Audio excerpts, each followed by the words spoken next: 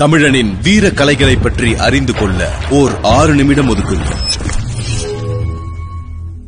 வரலாற்று குறிப்புகளின்படி ஆறு முதல் பதினெட்டாம் நூற்றாண்டு வரை தமிழர்களின் ஆகச்சிறந்த ஆயுதமாக இருந்த ஓர் ஆயுதம். மகாபாரத போரில் கிருஷ்ணனின் சுதர்சன சக்கரம் போன்றது தமிழர்களின் இந்த ஆயுதம். பதினேழு மற்றும் பதினெட்டாம் நூற்றாண்டுகளில் ஆங்கிலேய படைகளை அச்சப்படுத்தி அதிர வைத்த ஓர் ஆயுதம். கணிதத்தையும் இயற்பியலையும் கணித்து ஆயிரம் ஆயிரம் ஆண்டுகளுக்கு முன்பே தொழில்நுட்பம் கொண்ட ஆயுதம். போருக்கும் வேட்டைக்கும் வேல்கம்பு ஈட்டி பின் வாளுக்கு மாறிய தமிழன் அதன் பின் எதிரிகளை எதிர்த்து நிற்க மிரள வைக்க நிலை குலைந்து நிற்க வைக்க பயன்படுத்தியதுதான் வளரி. காற்றை கிழித்து கண்ணிமைக்கும் நேரத்தில் கதையை முடிக்கும் இந்த வளரி ஆங்கிலேய காலத்தில் பல தளபதிகளை ஸ்தம்பிக்க வைத்த ஒன்று. இனி எதிர்காலத்தில் இந்த ஆயுதத்தையும் கலையையும் எவரும் கற்றுவிடக் கூடாது என்பதற்காகவே சட்டம் போட்டு இதை தடுத்தான் மீறி வீசியவர்களை கொன்றான். வளரி அதை பற்றி தெரிந்து கொள்வோம் இன்று. வளைந்த வாழை எரி என்பதே வளரி. ஆஸ்திரேலிய ஆதிவாசிகளால் உபயோகப்படுத்தப்பட்ட பூமராங் வளரி போன்றே வடிவமைப்பில் இருக்கும். ஆனால் அயல் நாட்டினர் அதை விளையாட்டு பொருளாகவே பயன்படுத்தினர். ஆனால் அவர்களுக்கு பல நூறு ஆண்டுகளுக்கு முன்பே வளரியை ஆயுதமாக பயன்படுத்தியவன் தமிழன்.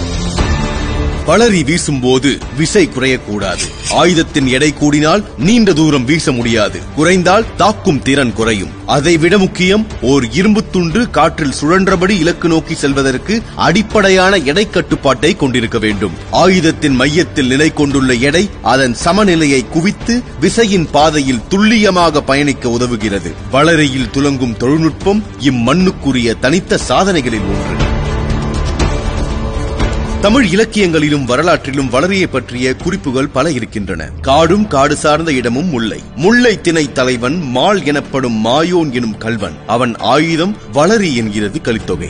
மால் எனப்படும் சோழன் வளரிப்படை உடையவன் என்கிறது சிலப்பதிகாரம். கள்ளர்களின் பெயரிலேயே கள்ளர் தடி என்றே அழைக்கப்பட்டது வளரி என்கிறது தமிழ் அகராதி வளைத்தடி. கள்ளர்களின் திருமணத்தில் முக்கிய அம்சமாக இருந்தது என்கிறார் ஆங்கில தொல்பொருள் ஆராய்ச்சியாளர் ராபர்ட் குரோஸ் புதுக்கோட்டை மன்னர்களிடம் வளரிப்படை என்று தனிப்படை இருந்தது என்கிறது புதுக்கோட்டை வரலாறு. கிபி ஆயிரத்தி எழுநூத்தி பத்தில் இருந்த விஜய சேதுபதி மன்னர் தனது மகள் அகிலாண்டேஸ்வரியை சிவகங்கைக்கு மணமுடித்து வைத்தபோது சீர்களில் ஒன்றாக தம் குலமரபு ஆயுதமான வளரியையும் அனுப்பி வைத்ததாக கல்வெட்டு இதழில் குறிப்பிடப்பட்டுள்ளது. இவ்வாறு பண்டைய காலத்தில் திருமணத்தில் சீதனமாகவும் வளரி வழங்கப்பட்டது. போர் புரியும் வீரர்கள் தம் கொண்டையில் வளரியை சொருகி வைத்திருப்பார்கள். போர் மூழும் போது கொண்டையிலிருந்து உருவி வளரியின் மூலம் எதிரிகளை போரிட்டு வீழ்த்துவார்கள். சிலர் அன்று பூசைக்குரிய பொருளாக வளரியை வணங்கினார்கள். மேலும் வளரியை பற்றி பதினேழு பதினெட்டாம் நூற்றாண்டுகளில் எண்ணற்ற குறிப்புகள் பிரிட்டிஷ் ஆவணங்களில் எழுதப்பட்டன. வேறெங்கும் இல்லாத ஓர் ஆயுதத்தை பற்றிய ஆச்சரியமும் கண்ணிமைக்கும் நேரத்தில் கழுத்தை வெட்டிச் செல்லும் அதிர்ச்சியும் கலந்த பதிவுகளாக அவ்வெழுத்துக்கள் இருக்கின்றன. இந்த ஆயுதம் ஆஸ்திரேலிய பூர்வ குடிமக்கள் பயன்படுத்தும் பூமராங் போன்றது. உலகில் இவ்விரு மக்கள் தான் இந்த ஆயுதத்தை பயன்படுத்துகின்றனர் என்று முதலில் கருதிய ஐரோப்பியர்கள் பின்னர் இந்த கருத்தை மாற்றிக்கொண்டனர் பதினெட்டாம் நூற்றாண்டில் ஆஸ்திரேலியாவை பற்றி ஆய்வு செய்த சாவைல்ஸ் கென் தனது நூலில் இந்த கருவி ஆசிய பகுதிகளில் இருந்து முதன் முதலாக ஆஸ்திரேலியாவுக்கு சென்று தங்கியவர்களால் அறிமுகப்படுத்தப்பட்டது என்கிறார். கிழக்கிந்திய கம்பெனி படையில் பல முக்கிய பொறுப்புகளை வதித்த கர்னல் ஜேம்ஸ் வெல்ஸ் தனது ராணுவ நினைவுகளில் வளரியை பற்றி எழுதுகிறார். கம்பெனிக்கு சிவகங்கை சீமையோடு நல்லுறவு இருந்த காலத்தில் பெரிய மருதுவிடம்தான் வளரி வீச கற்றுக்கொண்டதையும் உலகில் வேறு எங்கும் இல்லாத இந்த கருவி திறமையுடையவர்கள் வீசினால் நூறு கஜ தூரத்திற்கு சென்று இலக்கை துல்லியமாக தாக்கும் என்று பதிவு செய்கிறார்.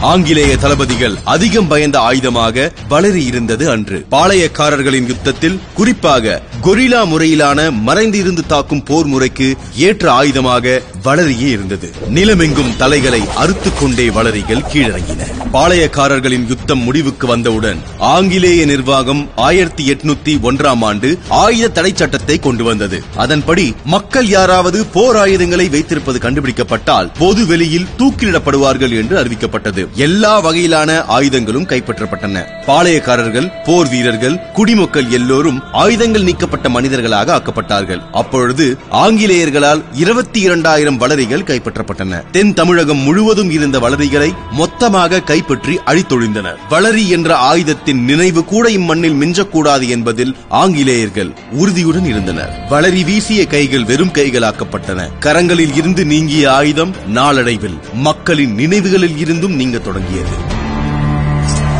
பல வரலாற்று குறிப்புகளின்படி மருது சகோதரர்களே வளரி வீசுவதில் வல்லவர்களாக இருந்தார்கள் என குறிப்பிடுகிறது. திகிரி கள்ளத்தடி வளைதடி பாராவளை எரிவலை சுழல்படை படைவட்டம் என்ற பெயரில் வளரி அன்று புழக்கத்தில் இருந்தது. இப்படி தமிழர்களின் முதன்மையான போர்க்கருவி என கலித்தொகை புறநானூறு கலிங்கத்து பரணி ஐங்குறு நூற்று இலக்கியங்களும் பிற குறிப்புகளும் தெரியப்படுத்துகின்றன. இவ்வாறு மிகச் சிறப்புமிக்க ஆயுதமான வளரி தற்போது பாதுகாப்பாகவும் கண்காட்சியாகவும் வைத்து பராமரிக்கப்பட்டு வருகிறது. ராமநாதபுரம் ராமவிலாசத்தில் தொல் அறிவியல் துறையினரால் பாதுகாக்கப்பட்டு வருகிறது. புதுக்கோட்டையில் உள்ள திருக்கோகர்ணத்தில் உள்ள அருங்காட்சியகத்திலும் இவ்வளரி பாதுகாக்கப்பட்டு வருகின்றது. தமிழரால் உருவான இந்த கலை அழியாமல் பாதுகாப்போம். இந்த வீடியோவை பகிர்வோம்.